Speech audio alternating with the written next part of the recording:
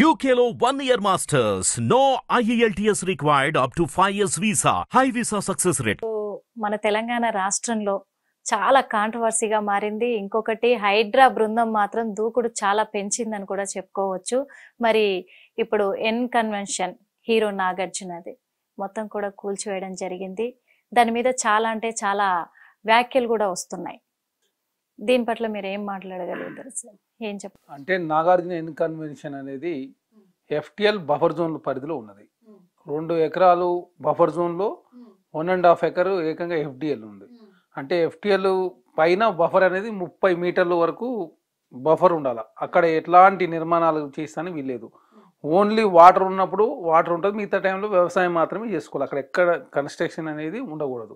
అది ప్రైవేట్ దా గవర్నమెంట్ అనేది తర్వాత పక్కకు పెడితే చెరువుల దగ్గర ఎప్పుడు కూడా ఎఫ్టీఎల్ కావచ్చు బఫర్ జోన్ అనేది కామన్గా ఉంటాయి. దానిలో భాగంగా అక్కడ నాగార్జున గారు మూడున్నర ఎకరాలులో కన్వెన్షన్ ఏర్పాటు చేసుకొని మొత్తం ఏరియా పది ఎకరాలు. అందులో మూడున్నర ఎకరాలు ఎఫ్టీఎల్ బఫర్ వస్తుంది కాబట్టి దానిలో భాగంగా హైడ్రా మొదటగా సినీని సినీ ప్రముఖులైనటువంటి నాగార్జున గారి ఎన్ కన్వెన్షన్ కూల్చివేయడం జరిగింది. దాన్ని రాష్ట్ర వ్యాప్తంగా ప్రజలంతా కూడా హర్షించారు. ఏ అభిమాని కూడా నాగార్జునకు మద్దతుగా లేరు. ఓన్లీ హైడ్రాకు మాత్రం మద్దతు ఇచ్చారు. అదే కాకుండా తెలంగాణ రాష్ట్రంలో కాంగ్రెస్ ప్రభుత్వానికి కావచ్చు రేవంత్ రెడ్డి గారికి పెద్ద ఎత్తున మంచి స్పందన వచ్చింది. అదే కాకుండా ఎన్ కన్వెన్షన్ కూల్చివేసిన తర్వాత గండిపేట ప్రాంతంలో ఏకంగా ర్యాలీలు నిర్వహించిన సందర్భం మనం చూసినాం. ఎందుకంటే లేకులు చెరువులు కుంటలు నాలాలు కాపాడాలని చెప్పేసి ప్రజలంతా కూడా మంచి స్పందన రావడంతో రేవంత్ రెడ్డి గారి నిర్ణయం చాలా బాగుందని చెప్పేసి పక్క రాష్ట్రాల నుంచి కూడా హర్షం వ్యక్తం చేస్తూ ఉన్నారు. ఎందుకంటే భారతీయ జనతా పార్టీ టీజీ వెంకటేష్ గారు కావచ్చు అదే కాకుండా ఆంధ్రప్రదేశ్ మున్సిపల్ శాఖ మంత్రి మంత్రి డాక్టర్ నారాయణ గారు కావచ్చు. అదే కాకుండా బైరెడ్డి రాజశేఖర రెడ్డి గారు. వీరంతా కూడా ఆంధ్ర రాష్ట్రంలో వాళ్ళు కూడా చాలా హైడ్రా అనే సంస్థ ఆంధ్ర రాష్ట్రం కూడా ఏర్పాటు చేయాలా? హైడ్రా లక్ష్యాలు బాగున్నాయి మంచిగా పనిచేస్తూ ఉంది. పార్టీలకు అత్యంగా కూడా పనిచేస్తుందని చెప్పేసి మంచి స్పందన వస్తూ ఉంది. అదే కాకుండా కాంగ్రెస్ పార్టీ సంబంధించిన మాజీ కేంద్ర మంత్రి పల్లన్ రాజు గారి తమ్ముడు ఆనందరాజు గారిది కూడా డిస్మెంటల్ చేసిరు అదే కాకుండా బీఆర్ఎస్ పార్టీ సంబంధించిన వారు చేసిరు ఎంఐఎం పార్టీ సంబంధించినటువంటి ఆకత్పురలో చేసిరు అదే కాకుండా సినీ ప్రముఖ సంఘం నాగార్జున గారు చేసిరు అదే కాకుండా పార్టీల ఖచ్చితంగా అదే ప్రభుత్వం ఉన్న వాళ్ళ లేని వారా అనే సంబంధమే లేకుండా ఎఫ్టీఎల్ బఫర్ జోన్లో ఎవరు నిర్మాణం చేసినా కూడా వారి కట్టడాలు కూర్చాలని చెప్పేసి హైడ్రా నిర్ణయించింది. దానిలో బాగా హైడ్రా పని హైడ్రా చేసుకుంటూ పోతా ఉంది. హైడ్రా అనేది ఒక సంస్థను అటానమస్ బాడీగా ఏర్పాటు చేసి దానికి ఐజీ స్థాయి అధికారి రంగనాథ్ గారు నేతృత్వం వహిస్తూ ఉన్నారు.